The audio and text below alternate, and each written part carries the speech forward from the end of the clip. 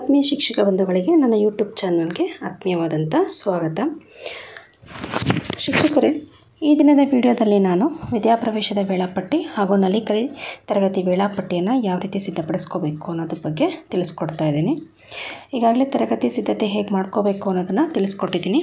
ಅದರ ಜೊತೆಗೆ ವಿದ್ಯಾಪ್ರವೇಶ ಮತ್ತು ನಲಿಕಲಿಗೆ ಸಂಬಂಧಿಸಿದಂತೆ ತರಗತಿ ವೇಳಾಪಟ್ಟಿಯನ್ನು ಕೂಡ ನಾವು ಸಿದ್ಧಪಡಿಸಿ ಇಟ್ಕೊಳ್ಬೇಕಾಗತ್ತೆ. ಇಲ್ಲಿ ನೀವು ಸ್ಕ್ರೀನ್ ಮೇಲೆ ನೋಡ್ತಾ ಇದ್ದೀರಾ. ಇಲ್ಲಿ ಒಂದನೇ ಒಂದನೇ ತರಗತಿಗೆ ಸಂಬಂಧಿಸಿದಂತೆ ವಿದ್ಯಾಪ್ರವೇಶದ ವೇಳಾಪಟ್ಟಿ ಇದಾಗಿದ್ದು ಇಲ್ಲಿ ಈ ಬಾರಿಯಲ್ಲಿ ಒಂದನೇ ತರಗತಿಗೆ ಮಾತ್ರ ವಿದ್ಯಾಪ್ರವೇಶ ಕಾರ್ಯಕ್ರಮ ಇರೋದರಿಂದ ಒಂದನೇ ತರಗತಿಗೆ ಸಪ್ರೇಟಾಗಿ ನಾವು ನಲವತ್ತು ದಿನಗಳಿಗೆ ಒಂದು ವಿದ್ಯಾಪ್ರವೇಶ ವೇಳಾಪಟ್ಟಿನ ತಯಾರಿಸ್ಕೋಬೇಕು.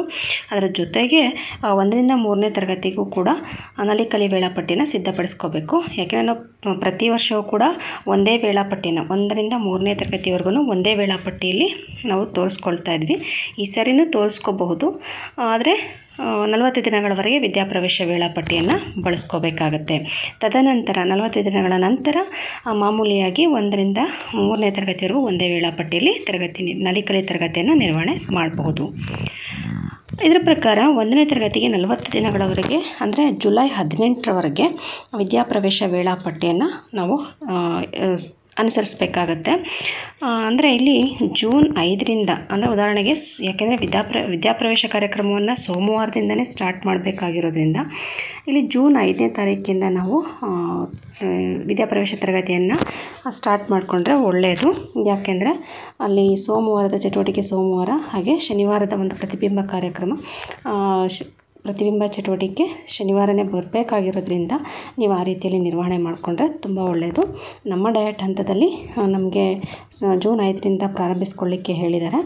ನಿಮ್ಮ ನಿಮ್ಮ ಹಂತದಲ್ಲಿ ಅಂದರೆ ನಿಮ್ಮ ನಿಮ್ಮ ಡಯಟ್ ಹಂತದಲ್ಲಿ ಯಾವ ರೀತಿ ಸೂಚನೆಗಳನ್ನು ನೀಡ್ತಾರೋ ಆ ರೀತಿಯಲ್ಲಿ ನೀವು ಅನುಪಾಲನೆ ಮಾಡಿದ್ರೆ ಒಳ್ಳೆಯದು. ಇನ್ನು ವೇಳಾಪಟ್ಟಿ ಬಗ್ಗೆ ಹೇಳಬೇಕು ಅಂದರೆ ವಿದ್ಯಾಪ್ರವೇಶದಲ್ಲಿ ನಿಮಗೆ ಗೊತ್ತಿರೋ ಹಾಗೆ ಕಳೆದ ಬಾರಿಯಂತೆ ಈ ಬಾರಿಯೂ ಕೂಡ ಎಂಟು ಅವಧಿಗಳನ್ನು ನಿರ್ವಹಣೆ ಮಾಡಬೇಕಾಗತ್ತೆ. ಅದಕ್ಕೆ ಅನುಗುಣವಾಗಿ ಈ ವೇಳಾಪಟ್ಟಿಯನ್ನು ನಾವಿಲ್ಲಿ ಸಿದ್ಧಪಡಿಸಿದ್ದೀವಿ ಎರಡು ಸಾವಿರದ ಇಪ್ಪತ್ತ್ಮೂರು ಇಪ್ಪತ್ತ್ನಾಲ್ಕನೇ ಸಾಲಿನ ಒಂದು ವೇಳಾಪಟ್ಟಿಯನ್ನು ಸಿದ್ಧಪಡಿಸಲಾಗಿದೆ. ಇಲ್ಲಿ ಶಾಲೆ ಹೆಸರು ತಾಲೂಕು ಮತ್ತು ಜಿಲ್ಲೆ ಹೆಸರನ್ನು ಬರ್ಕೋಬೇಕಾಗುತ್ತೆ. ಇಲ್ಲಿ ಮೊದಲನೇ ಕಾಲಮು ಅವಧಿಗಳು ಅಂತ ಇದೆ. ನೆಕ್ಸ್ಟು ಅದರ ಕೆಳಗಡೆ ವಾರಗಳು ಅಂತ ಕೊಟ್ಟಿದ್ದಾರೆ. ಇಲ್ಲಿ ವಾರಗಳನ್ನ ನೀವು ಈಗಾಗಲೇ ನೀವು ಸಿದ್ಧಪಡಿಸ್ಕೊಂಡಿರ್ತೀರ? ಇದನ್ನೊಮ್ಮೆ ನೀವು ನೋಡ್ಕೊಂಡು ಇದೇ ರೀತಿಯಲ್ಲಿ ಸಿದ್ಧಪಡಿಸ್ಕೊಳ್ಬೋದು. ಇನ್ನು ಅವಧಿಯಲ್ಲಿ ಮೊದಲನೇದಾಗಿ ಸಿದ್ಧತಾ ಅವಧಿ ಅಂತ ಕೊಟ್ಟಿದ್ದಾರೆ. ಅಂದರೆ ಸ್ವಚ್ಛತಾ ಕಾರ್ಯಕ್ರಮ ಇರ್ಬೋದು ಅಥವಾ ಕ್ಷೀರಭಾಗ್ಯ ಇರ್ಬೋದು. ಅದನ್ನು ನಾವೇನು ಮಾಡಬೇಕಾಗುತ್ತೆ? ಮೊದಲಿಗೆ ನಿರ್ವಹಿಸಬೇಕಾಗುತ್ತೆ. ಅದರ ಜೊತೆಗೆ ಪ್ರಾರ್ಥನಾ ಕಾರ್ಯಕ್ರಮ ಇವೆಲ್ಲವೂ ಸೇರಿ ಒಟ್ಟು ಹತ್ತು ಗಂಟೆಗೆ ನಾವಿಲ್ಲಿ ಹತ್ತು ಗಂಟೆಗೆ ಇವಿಷ್ಟು ಕಾರ್ಯಕ್ರಮಗಳನ್ನ ಮುಗಿಸ್ಕೋಬೇಕಾಗತ್ತೆ. ಈ ಬಾರಿ ತುಂಬ ಸ್ಟ್ರಿಕ್ಟಾಗಿ ಹೇಳಿದ್ದಾರೆ. ಹತ್ತು ಗಂಟೆ ಒಳಗಡೆ ಹಾಲನ್ನು ಮಕ್ಕಳಿಗೆ ಕ್ಷೀರಭಾಗ್ಯ ಯೋಜನೆ ಕೂಡ ಅನುಷ್ಠಾನ ಆಗಿರಬೇಕು.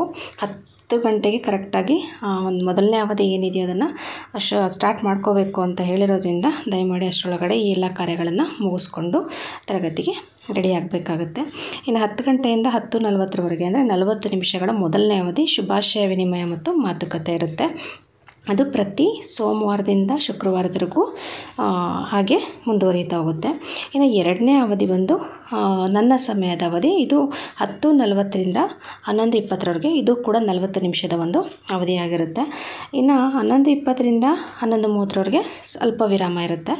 ಅದಾದ ನಂತರ ಮೂರನೇ ಅವಧಿ ಬುನಾದಿ ಸಂಖ್ಯಾ ಜ್ಞಾನ ಅಂತೇಳಿ, ಇದು ಕೂಡ ನಲವತ್ತು ನಿಮಿಷದ ಅವಧಿ, ಹನ್ನೊಂದು ಮೂವತ್ತರಿಂದ ಹನ್ನೆರಡು ಹತ್ತರವರೆಗೆ ಇರುತ್ತೆ. ಇನ್ನು ನಾಲ್ಕನೇ ಅವಧಿ ಬಂದು ಸೃಜನಶೀಲ ಕಲೆ ಇದು ಹನ್ನೆರಡು ಹತ್ತರಿಂದ ಹನ್ನೆರಡು ಐವತ್ತರವರೆಗೆ ಬರುತ್ತೆ. ನೆಕ್ಸ್ಟ್ ಹನ್ನೆರಡು ಐವತ್ತರಿಂದ ಒಂದು ಮೂವತ್ತರವರೆಗೆ ಊಟದ ವಿರಾಮ ಇರುತ್ತೆ. ಅಂದರೆ ಮಧ್ಯಾಹ್ನದ ಬಿಸಿ ಊಟ ಕಾರ್ಯಕ್ರಮ ಇರುತ್ತೆ. ಅದಾದ ನಂತರ ಮಧ್ಯಾಹ್ನದ ಅವಧಿ ಅಂದರೆ ಐದನೇ ಅವಧಿ. ಐದನೇ ಅವಧಿಯಲ್ಲಿ ನಮಗಿಲ್ಲಿ ಭಾಷಾಭಿವೃದ್ಧಿ ಅವಧಿ ಇರೋದರಿಂದ ಈ ಭಾಷಾಭಿವೃದ್ಧಿ ಅವಧಿಗೆ ಅರವತ್ತು ನಿಮಿಷಗಳನ್ನು ನಾವು ಕೊಡಬೇಕಾಗುತ್ತೆ. ಇದು ಕಳೆದ ವರ್ಷವೂ ಕೂಡ ಹಾಗೆ ಇತ್ತು. ಇಲ್ಲಿ ಅರವತ್ತು ನಿಮಿಷದ ಅವಧಿ ಆಗಿರೋದ್ರಿಂದ ಒಂದು ಗಂಟೆ, ಅಂದರೆ ಒಂದು ಮೂವತ್ತರಿಂದ ಎರಡು ಮೂವತ್ತರವರೆಗೂ ಈ ಒಂದು ಐದನೇ ಅವಧಿ ನಿರ್ವಹಣೆ ಆಗುತ್ತೆ. ಇನ್ನು ಆರನೇ ಅವಧಿ ಹೊರಾಂಗಣ ಆಟ, ಇದು ನಲವತ್ತು ನಿಮಿಷದ ಒಂದು ಅವಧಿಯಾಗಿರುತ್ತೆ ನೆಕ್ಸ್ಟ್ ಅದಾದಮೇಲೆ ಒಂದು ಅಲ್ಪ ವಿರಾಮ ಇರುತ್ತೆ ಹತ್ತು ನಿಮಿಷಗಳ.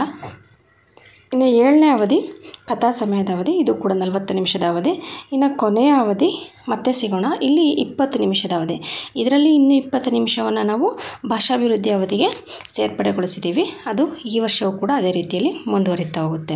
ಇನ್ನು ಶನಿವಾರದ ವೇಳಾಪಟ್ಟಿಗೆ ಬಂದರೆ, ಶನಿವಾರದಲ್ಲಿ ಮೊದಲಿಗೆ ಏಳು ಐವತ್ತರಿಂದ ಸಾರಿ, ಏಳು ನಲ್ವತ್ತರಿಂದ ಏಳು ಐವತ್ತು ಸ್ವಚ್ಛತೆ ಇರುತ್ತೆ. ಇನ್ನು ಏಳು ಐವತ್ತರಿಂದ ಎಂಟು ಗಂಟೆವರೆಗೂ ಪ್ರಾರ್ಥನೆ ಇರುತ್ತೆ. ಅದಾದ ನಂತರ ಇಲ್ಲಿ ಎಂಟು ಗಂಟೆಯಿಂದ ಎಂಟು ನಲವತ್ತರವರೆಗೆ ಒಂದು ದೈಹಿಕ ಶಿಕ್ಷಣದ ಅವಧಿ ಇರುತ್ತೆ. ಅದಾದ ನಂತರ ಎಂಟು ನಲವತ್ತರಿಂದ ಒಂಬತ್ತು ಇಪ್ಪತ್ತರವರೆಗೆ, ಅಂದರೆ ಇಲ್ಲಿ ಶನಿವಾರ ವಿದ್ಯಾಪ್ರವೇಶಕ್ಕೆ ಸಂಬಂಧಿಸಿದಂತೆ, ಶನಿವಾರ ಪ್ರತಿಬಿಂಬ ಮತ್ತು ನನ್ನ ಸಾಧನೆಗೆ ಸಂಬಂಧಿಸಿದಂತೆ ಅವಲೋಕನ ಕಾರ್ಯಕ್ರಮ, ಅವಲೋಕನ ಚಟುವಟಿಕೆ ಇರುತ್ತೆ. ಅಂದರೆ ಇಡೀ ವಾರದಲ್ಲಿ ಏನೇನೆಲ್ಲ ಮಕ್ಕಳು ಕಲ್ತಿದ್ದಾರೆ ಅನ್ನೋದನ್ನು ಅವಲೋಕನ ಮಾಡೋ, ಅವಲೋಕನ ಮಾಡುವಂಥ ಒಂದು ಚಟುವಟಿಕೆಯಲ್ಲಿ ಶನಿವಾರ ಪೂರ್ತಿಯಾಗಿ ನಾವು ನಿರ್ವಹಣೆ ಮಾಡಬೇಕಾಗತ್ತೆ. ಈ ನಿರ್ವಹಣೆ ಮಾಡಬೇಕು, ನಿರ್ವಹಣೆ ಮಾಡಬೇಕಾಗತ್ತೆ. ಸೊ ವಿದ್ಯಾಪ್ರವೇಶಕ್ಕೆ ಯಾವುದೇ ಇಲ್ಲಿ ಮತ್ತೆ ಪೀರಿಯಡ್ನ ಹಂಚಿಕೆ ಆಗುವಂಥ ಅವಶ್ಯಕತೆ ಇರೋದಿಲ್ಲ. ಇದಿಷ್ಟು ವಿದ್ಯಾಪ್ರವೇಶಕ್ಕೆ ಸಂಬಂಧಪಟ್ಟಂತಹ ಒಂದು ವೇಳಾಪಟ್ಟಿಯಾಗಿರುತ್ತೆ. ಇನ್ನು ನಲಿಕಲಿಗೆ ಪ್ರತಿ ವರ್ಷದಂತೆ ಈ ವರ್ಷವೂ ಕೂಡ ಎಂಬತ್ತು ನಿಮಿಷಗಳ ನಾಲ್ಕು ಅವಧಿಗಳನ್ನು ನಿಗದಿ ಮಾಡಲಾಗಿದೆ. ಪ್ರತಿ ವರ್ಷ ಹೇಗೆ ಅವಧಿಯನ್ನು ನಿರ್ವಹಣೆ ಮಾಡ್ತಾ ಇತ್ತು ಅದೇ ರೀತಿಯಲ್ಲಿ ಈ ವರ್ಷವೂ ಕೂಡ ನಾಲ್ಕು ಅವಧಿಗಳನ್ನು ಇಲ್ಲಿ ನಿರ್ವಹಣೆ ಮಾಡಲಾಗಿದೆ.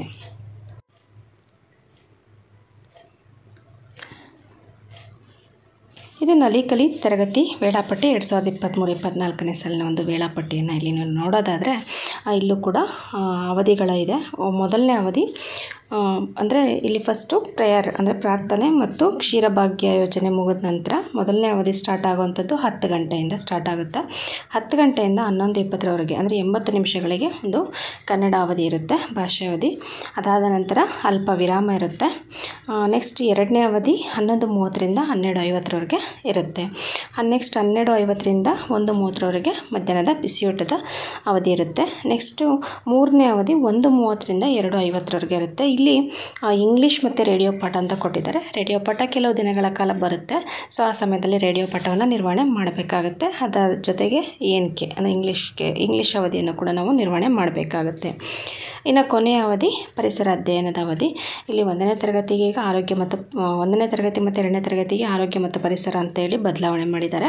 ಮೂರನೇ ತರಗತಿಗೆ ಪರಿಸರ ಅಧ್ಯಯನ ಅಂತ ಇದೆ. ಇಲ್ಲಿ ಅಲ್ಲಿ ಸ್ವಲ್ಪ ಬದಲಾವಣೆ ಮಾಡ್ಕೊಳ್ಳಿ. ಆರೋಗ್ಯ ಮತ್ತು ಪರಿಸರ ಮತ್ತು ಪರಿಸರ ಅಧ್ಯಯನ ಎರಡನ್ನು ಹಾಕೋಬೇಕಾಗುತ್ತೆ. ಒಂದೇ ವೇಳಾಪಟ್ಟಿಯನ್ನು ನಿರ್ವಹಣೆ ಮಾಡಿದ್ರೆ, ಇಲ್ಲ ಒಂದನೇ ತರಗತಿಗೆ, ಎರಡನೇ ತರಗತಿಗೆ ಮುನ್ನಿದ್ರೆ ಸಪ್ರೇಟಾಗಿ ಮಾಡಿದರೆ, ಅಲ್ಲಿ ಸಪ್ರೇಟಾಗೇ ಬರೆದಿಟ್ಕೋಬೇಕಾಗತ್ತೆ.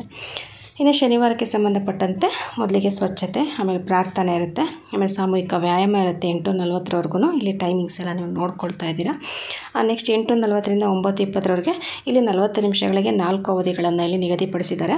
ಅದರಲ್ಲಿ ಒಂಬತ್ತು ಇಪ್ಪತ್ತರವರೆಗೆ ಕನ್ನಡ ಅವಧಿ ಇರುತ್ತೆ. ನೆಕ್ಸ್ಟು ಒಂಬತ್ತು ಇಪ್ಪತ್ತರಿಂದ ಒಂಬತ್ತು ನಲವತ್ತು ಇಪ್ಪತ್ತು ನಿಮಿಷಗಳ ಒಂದು ತಿಂಡಿ ವಿರಾಮ, ಅಂದರೆ ಶನಿವಾರದ ಸಮಯದಲ್ಲಿ ತಿಂಡಿಯನ್ನು ವಿತರಣೆ ಮಾಡೋದ್ರಿಂದ, ಸೊ ಅಲ್ಲಿ ತಿಂಡಿಯ ವಿರಾಮ ಇರುತ್ತೆ ಇಪ್ಪತ್ತು ನಿಮಿಷಗಳ ಅವಧಿ ಇರುತ್ತೆ. ನೆಕ್ಸ್ಟ್ ಒಂಬತ್ತು ನಲವತ್ತರಿಂದ ಹತ್ತು ಇಪ್ಪತ್ತರವರೆಗೆ ಗಣಿತ ಅವಧಿ ಇರುತ್ತೆ. ನೆಕ್ಸ್ಟು ಹತ್ತು ಇಪ್ಪತ್ತರಿಂದ ಹನ್ನೊಂದು ಗಂಟೆವರೆಗೂ ಇಂಗ್ಲೀಷ್ ಅವಧಿ ಇರುತ್ತೆ. ನೆಕ್ಸ್ಟ್ ಹನ್ನೊಂದು ಗಂಟೆಯಿಂದ ಹನ್ನೊಂದು ನಲವತ್ತರವರೆಗೂ ಪರಿಸರ ಅಧ್ಯಯನದ ಅವಧಿಯನ್ನು ಇಲ್ಲಿ ನಿಗದಿಪಡಿಸಲಾಗಿದೆ. ಇದು ಈ ವರ್ಷದ ಒಂದು ಸರ್ಕ್ಯುಲರ್ ಏನಿದೆಯೋ ಅದಕ್ಕೆ ಅನುಗುಣವಾಗಿ ಈ ಒಂದು ಅವಧಿಗಳನ್ನು ನಿಗದಿಪಡಿಸಲಾಗಿದೆ. ಇದು ಶಾಲಾ ಆರಂಭದ ನಲವತ್ತು ದಿನಗಳಲ್ಲಿ ಈ ಮೂರು ತರಗತಿಗಳಿಗೆ ಹೇಗೆ ಅವಧಿಗಳ ನಿರ್ವಹಣೆ ಮಾಡ್ಬೋದು ಅಂತೇಳಿ ನಾವು ನೋಡಿದ್ವಿ. ಇನ್ನು ಒಂದನೇ ತರಗತಿಗೆ ವಿದ್ಯಾಪ್ರವೇಶದ ಮೊದಲ ಅವಧಿ ಅಂದರೆ ಯಾವ ರೀತಿ ನಿರ್ವಹಣೆ ಮಾಡಬೇಕು ಅವಧಿಗಳನ್ನು. ಯಾಕೆಂದರೆ, ಆ, ಮೊದಲ ನಲವತ್ತು ದಿನಗಳಲ್ಲಿ, ಶಾಲಾ ಆರಂಭದ ಮೊದಲ ನಲವತ್ತು ದಿನಗಳಲ್ಲಿ ಒಂದನೇ ತರಗತಿಗೆ ವಿದ್ಯಾಪ್ರವೇಶ ಕಾರ್ಯಕ್ರಮ ಇರುತ್ತೆ. ಎರಡು ಮೂರಕ್ಕೆ ನಲ್ಲಿ ನಲಿಕಲಿ ಸೇತು ಬಂದ ಇರುತ್ತೆ. ಅವ ಆ ಸಮಯದಲ್ಲಿ ಹೇಗೆ ನಾವು ನಿರ್ವಹಣೆ ಮಾಡಬೇಕು ಅಂದರೆ, ಉದಾಹರಣೆಗೆ ಒಂದನೇ ತರಗತಿಗೆ ವಿದ್ಯಾಪ್ರವೇಶದ ಮೊದಲ ಅವಧಿ ಏನು ಶುಭಾಶಯ ವಿನಿಮಯ ಮತ್ತು ಮಾತುಕತೆ ಇರುತ್ತೋ, ಇಲ್ಲಿ ಮೂರು ತರಗತಿ ಮಕ್ಕಳನ್ನು ಒಟ್ಟಿಗೆ ನಾವು ತರಗತಿಗೆ ಸ್ವಾಗತ ಮಾಡ್ಕೋಬೇಕಾಗತ್ತೆ. ತದನಂತರ ಎರಡು ಮತ್ತು ಮೂರನೇ ತರಗತಿ ಮಕ್ಕಳಿಗೆ ಮೊದಲ ಎಂಬತ್ತು ನಿಮಿಷದ ಅವಧಿ ಭಾಷೆಯದ್ದಾಗಿರುತ್ತೆ. ಆದ್ದರಿಂದ ಭಾಷೆಯಲ್ಲಿ ಸೇತುಬಂಧಕ್ಕೆ ಸಂಬಂಧಿಸಿದಂಥ ಅಂದರೆ ನಿಗದಿಪಡಿಸಿದಂಥ ಚಟುವಟಿಕೆಗಳನ್ನು ನಿರ್ವಹಿಸೋದಕ್ಕೆ ಸಲಹೆ ನೀಡಿ, ಒಂದನೇ ತರಗತಿ ಮಕ್ಕಳಿಗೆ ಮೊದಲ ಅವಧಿಯ ನಿರ್ವಹಣೆಯನ್ನು ಮಾಡೋದು ಮಾಡೋದು ಒಳ್ಳೆಯದು. ಯಾಕೆಂದರೆ ಎರಡು ಮೂರನೇ ತರಗತಿ ಮಕ್ಕಳಿಗೆ ಹಿಂದಿನ ತರಗತಿಯಲ್ಲಿ ಕಲಿಕೆ ಆಗಿರುತ್ತೆ. ಸೊ ಅದಕ್ಕೆ ಸಂಬಂಧಿಸಿದಂತೆ ಸೇತುಬಂಧ ಚಟುವಟಿಕೆ ಆಗಿರೋದ್ರಿಂದ ಅಲ್ಲಿ ಸಾಕಷ್ಟು ನಮ್ಮ ಒಂದು ಅವಶ್ಯಕತೆ ಮಕ್ಕಳಿಗೆ ಕಡಿಮೆ ಇರುತ್ತೆ. ಹಾಗಾಗಿ ಮತ್ತು ಒಂದನೇ ತರಗತಿ ಮಕ್ಕಳು ಹೊಸದಾಗಿ ದಾಖಲಾಗಿರೋದ್ರಿಂದ ನಾವು ಆದಷ್ಟು ಒಂದನೇ ತರಗತಿ ಮಕ್ಕಳ ಜೊತೆ ಇರೋದು ತುಂಬ ಒಳ್ಳೆಯದು. ಇನ್ನು ಮೊದಲ ಅವಧಿಯ ನಿರ್ವಹಣೆ. ಆದ ನಂತರ ಎರಡನೇ ಅವಧಿ ವಿದ್ಯಾಪ್ರವೇಶದಲ್ಲಿ ನನ್ನ ಸಮಯ ಅದಾಗಿರುತ್ತೆ. ಸೊ ಆ ಸಮಯದಲ್ಲಿ ಎರಡು ಮತ್ತು ಮೂರನೇ ತರಗತಿ ಮಕ್ಕಳು ಕನ್ನಡ ಅವಧಿಯಲ್ಲೇ ಮುಂದುವರಿತಾ ಹೋಗ್ತಾರೆ. ಇನ್ನು ಮೂರನೇ ಅವಧಿ ಬುನಾದಿ ಸಂಖ್ಯಾ ಜ್ಞಾನದ ಅವಧಿ ಇರುತ್ತೆ ವಿದ್ಯಾಪ್ರವೇಶದಲ್ಲಿ. ಆ ಆ ಸಮಯದಲ್ಲಿ ಎರಡು ಮತ್ತು ಮೂರನೇ ತರಗತಿ ಮಕ್ಕಳು ಗಣಿತ ಅವಧಿಗೆ ಬರ್ತಾರೆ. ಸೊ ಅವ, ಆಗ, ಆ ಸಮಯದಲ್ಲಿ ನಾವು ಗಣಿತ ಅವಧಿಯ ಒಂದು ಚಟುವಟಿಕೆಗಳೇನು ನಿಗದಿಯಾಗಿರುತ್ತೋ ಅದನ್ನು ನಿರ್ವಹಿಸಲಿಕ್ಕೆ ತಿಳಿಸ್ಬೇಕು. ಅದಾದ ನಂತರ ಎರಡು ಅವಧಿಗಳು ವಿದ್ಯಾಪ್ರವೇಶದ ಎರಡು ಅವಧಿಗಳು ಮುಗಿದ ನಂತರ ಮಧ್ಯಾಹ್ನದ ಬಿಸಿ ಊಟದ ಅವಧಿ ಇರುತ್ತೆ.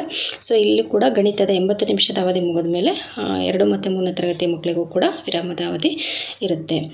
ಸೊ ಈ ರೀತಿಯಲ್ಲಿ ನಾವು ಅವಧಿಗಳನ್ನು ಅಂದರೆ ನಿಗದಿಪಡಿಸ್ಕೊಂಡು ನಾವು ತರಗತಿ ನಿರ್ವಹಣೆಯನ್ನು ಮಾಡ್ತಾ ಹೋಗಬೇಕಾಗತ್ತೆ. ಅಂದರೆ, ಇದ್ರ ಜೊತೆಗೆ ನಾವು ವಿದ್ಯಾಪ್ರವೇಶದ ತರಗತಿಯನ್ನು ನಿರ್ವಹಣೆ ಮಾಡೋದ್ರ ಜೊತೆಗೆ ಎರಡು ಮತ್ತು ಮೂರನೇ ತರಗತಿ ಮಕ್ಕಳಿಗೆ ನಾವೇನು ಮಾಡ್ತಾ ಹೋಗಬೇಕಾಗುತ್ತೆ? ಸಲಹೆ ಮತ್ತು ಮಾರ್ಗದರ್ಶನವನ್ನು ನಡುವೆ ನೀಡ್ತಾ ಹೋಗಬೇಕಾಗತ್ತೆ. ಮತ್ತು ಮಕ್ಕಳನ್ನು ಕಲಿಕೆಯಲ್ಲಿ ತೊಡಗಿಸ್ಬೇಕಾಗತ್ತೆ. ಈ ರೀತಿಯಾಗಿ ಒಂದು, ಎರಡು, ಮೂರು ತರಗತಿಗಳನ್ನು ಜೊತೆ ಜೊತೆಯಾಗಿ ನಿರ್ವಹಣೆ ಮಾಡಬೇಕಾಗತ್ತೆ ಈ ವರ್ಷದಲ್ಲಿ. ಆದಷ್ಟು ನಾವು ಎರಡು ಮತ್ತು ಮೂರನೇ ತರಗತಿಯ ಮಕ್ಕಳನ್ನು ಮಕ್ಕಳಲ್ಲಿ ಕಲಿಕೆಯಲ್ಲಿ ಮುಂದಿರುವಂಥ ಮಕ್ಕಳ ನಾಯಕತ್ವದೊಂದಿಗೆ ಉಳಿದ ಮಕ್ಕಳನ್ನು ಕೂಡ ಚಟುವಟಿಕೆ ಅಥವಾ ಕಲಿಕೆಯಲ್ಲಿ ಪಾಲ್ಗೊಳ್ಳುವಂತೆ ನಾವು ನೋಡ್ಕೋಬೇಕಾಗತ್ತೆ.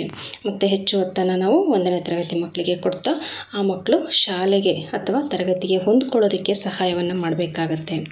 ಈ ನಲವತ್ತು ದಿನಗಳ ವಿದ್ಯಾಪ್ರವೇಶ ಮುಗಿದ ನಂತರ, ಅಂದರೆ ಈ ನಲವತ್ತು ದಿನಗಳಲ್ಲಿ ಮುಗಿದ ನಂತರ, ಆ ಮೂರು ತರಗತಿಗಳನ್ನು ಒಟ್ಟಿಗೆ ನಾವೇನು ಮಾಡ್ತೀವಿ ನಲಿಕಲಿ ಮಾದರಿಯಲ್ಲಿನೇ ಕಲಿಕಾ ತಟ್ಟೆಗಳಿಗನುಗುಣವಾಗಿ ಚಟುವಟಿಕೆಗಳನ್ನು ನಾವು ನಿರ್ವಹಣೆ ಮಾಡ್ತಾ ಹೋಗ್ತೀವಿ. ಇದಿಷ್ಟು ನಲಿಕಲಿ ಮತ್ತು ವಿದ್ಯಾಪ್ರವೇಶ ವೇಳಾಪಟ್ಟಿಗೆ ಸಂಬಂಧ ಸಂಬಂಧಿಸಿದಂಥ ಮಾಹಿತಿ.